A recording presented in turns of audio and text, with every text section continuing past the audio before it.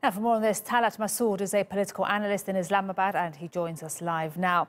Um, thanks for speaking to us on TRT World. Now, Imran Khan is expected to celebrate Pakistan's Independence Day in Pakistan administered Kashmir. How significant is this given the recent decision by India?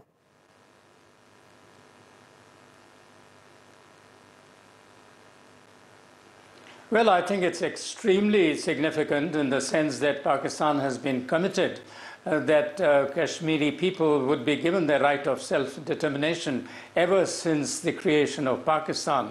So I, I, think it's a gross violation on the part of India uh, to have uh, sort of abrogated their commitment to the United Nations resolutions of the Security Council as well as their bilateral commitments at the Simla Agreement.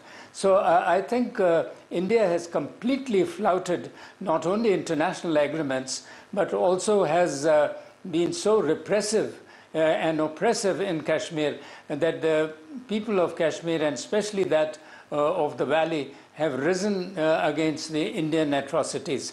Actually, India has been trying to suppress the movement by uh, employing such a large number of military force.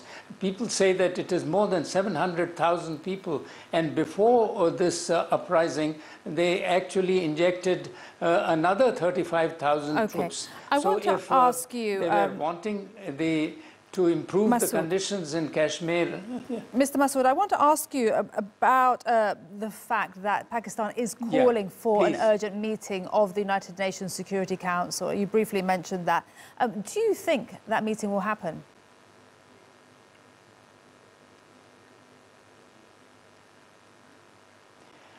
Yeah, I think it, it is possible that, uh, you know, the thing is that India has a clout uh, amongst the major powers. There is no doubt about that.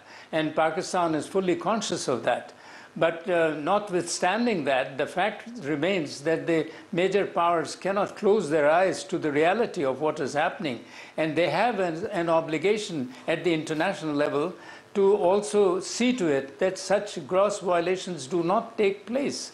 Uh, otherwise, you know, the international law uh, will become meaningless and the United Nations Security Council will become ineffective. As it is, uh, it is fairly ineffective. And uh, if they do not act and do not uh, try to see the situation and take measures and at least pass resolutions, uh, I, I, think the world would be highly disappointed and the people of Kashmir then will have no other option but to continue uh, with their struggle and it could lead to something more serious. So I, I, think there are many implications if the UN Security Council does not take this matter seriously. And let's talk about those implications because Pakistan's foreign minister has said uh, what India has done may have dangerous implications.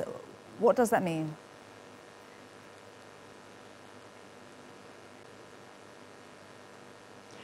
Well, I think what he is implying is that you know these are neighbors uh, which have which have a very strong conventional capability.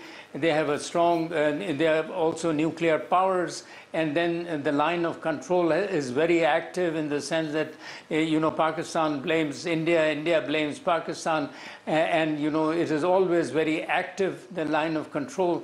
Uh, and uh, the matters can get out of control. Uh, so I, I, think that is very important to understand that with such close proximity to each other and both being both very strong conventional and nuclear powers, it's very important uh, that they settle the matters at the political uh, level uh, instead of sort of, you know, trying to sort of